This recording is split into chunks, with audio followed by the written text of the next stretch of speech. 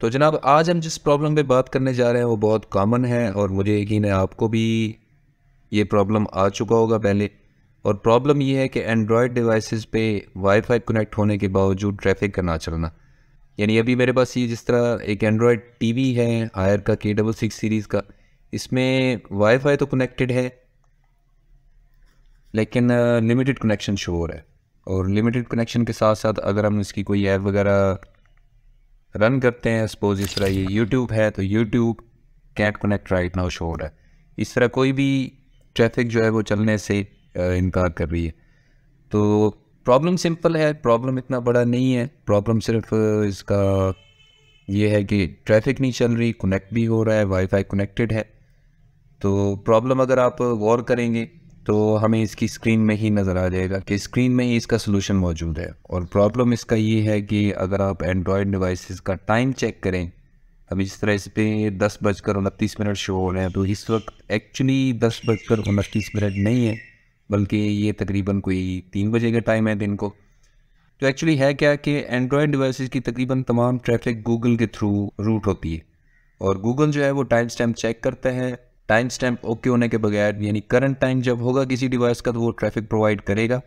Google में बहुत सारी डिवाइसेस ऐप्स और इस तरह की, इस तरह मैप्स है जी है यूट्यूब है तो जब टाइम स्टैम्प ठीक होगा किसी डिवाइस का तो वो ट्रैफ़िक प्रोवाइड करेगा। अगर टाइम स्टैम्प ठीक नहीं है तो ट्रैफ़िक प्रोवाइड नहीं करेगा। तो इसका सिंपल सोल्यूशन ये है कि इसका डिवाइस का हम टाइम जो है, वो ठीक कर लेंगे। प्रेफरेंस के अंदर डेट एंड टाइम और वैसे तो हम इसको मैनुअल भी सेट कर सकते हैं कि मैनुअल इसकी डेट सेट कर दें टाइम सेट कर दें टाइम जोन सेट कर दें फॉर्मेट जो है। लेकिन सिंपल इसका ये है कि अगर ये नेट से कनेक्टेड है तो यूज़ नेटवर्क प्रोवाइड टाइम हम इसको कर देते हैं। यानी ये खुद ही ऑटोमेटिकली अपडेट होता रहेगा फ्यूचर में भी। तो अभी इसका टाइम जो है वो ठीक हो गया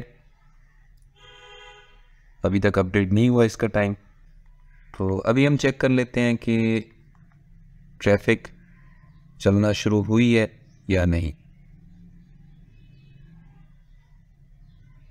तो ये इसकी ट्रैफ़िक चलना शुरू हो गई है, सिर्फ़ टाइम का ही मसला होता है. अगर आपको भी किसी एंड्रॉयड डिवाइस पे कोई इस तरह का प्रॉब्लम आए तो आप इसको सॉल्व कर सकते हैं. सिंपल है. लेकिन जब आपका इंटरनेट नहीं चलता आपके नए एंड्रॉयड टीवी पे तो बहुत ज़्यादा टेंशन होती है। अपना ख्याल रखा करें।